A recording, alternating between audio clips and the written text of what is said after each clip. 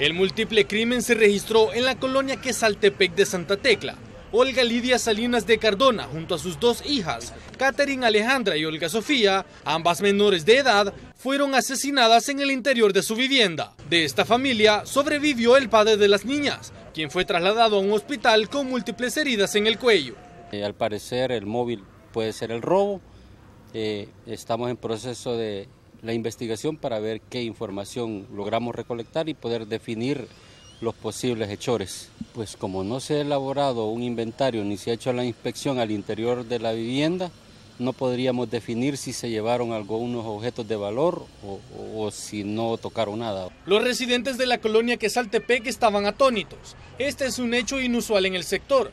Entre las hipótesis que se maneja está un posible intento de robo contra la pareja, ambos profesionales del derecho, por ahora la policía ni la fiscalía se atreven a afirmar nada, pues dicen que solo hay datos preliminares. Ahorita no tenemos un posible móvil de, eh, o de los hechores, quienes podrían haber, si son pandilleros o qué, o es eh, delincuencia común o crimen organizado, no, no podemos definir de dónde puede venir esto. ¿Extrajeron algo de la casa o robaron algo? No podemos confirmar porque todavía no se ha procesado, estamos esperando que venga de San Salvador la DCI para que procese la, la escena como debe de ser. El asesinato fue cometido con arma cortante y con lujo de barbarie. La zona tiene presencia de grupos criminales, pero las autoridades no dan un dictamen sobre el móvil del hecho.